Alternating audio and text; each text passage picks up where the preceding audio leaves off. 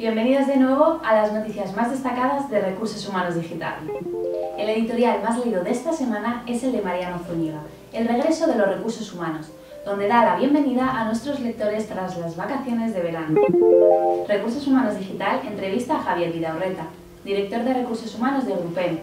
Con anterioridad, Javier fue director de Recursos Humanos en la consultora inmobiliaria CB Richard Ellis y en First Data Ibérica. El 65% de los españoles cree que la depresión postvacacional es un mito. Por ello, Recursos Humanos Digital ha querido pulsar la opinión de sus lectores, proponiéndoles una nueva encuesta. ¿Han sufrido alguna vez depresión postvacacional? Tras contabilizar los casi 22.000 votos recibidos, el resultado es el siguiente. El 65% cree que la depresión postvacacional no existe. La segunda sesión del ciclo organizado por Cruz Roja para explorar el espacio común de acción social entre la organización y el mundo empresarial ya tiene fecha. Será el próximo día 9 de octubre en su sede central en Madrid.